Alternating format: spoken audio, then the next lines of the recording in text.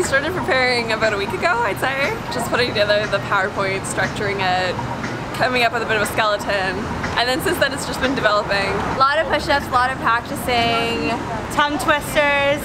Red leather, yellow leather, red leather, yellow leather, red leather, yellow leather.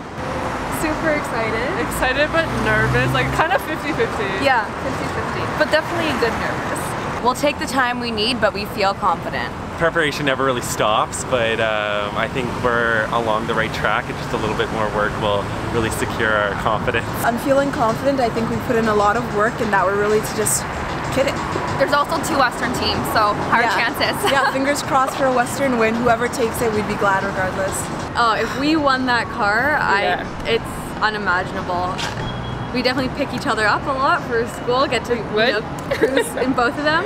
It's been pretty good. It's been really We've great. been completely yep. spoiled, yeah. Uh-huh. A lot of chances to network with people and that was fun. Yeah, you know, coming to the hotel room with like treats and everything like that was definitely surprising, but you know. A lot really of chocolate great. bars.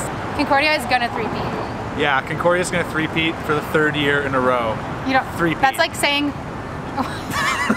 that's like saying 10 a.m. in the morning.